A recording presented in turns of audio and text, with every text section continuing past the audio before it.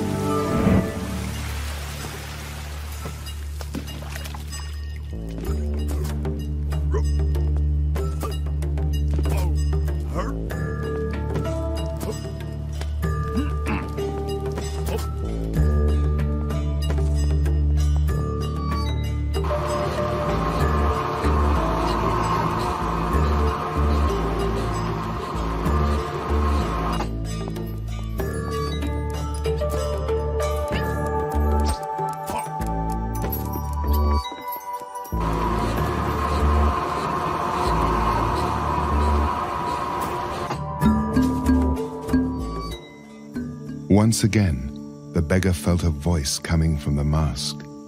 It was deep and precious and bitter. It was a memory lost in time. There was once a god. He was given dominion over rain and earth, over the stone rift of the nether region, and the spheres of the celestial.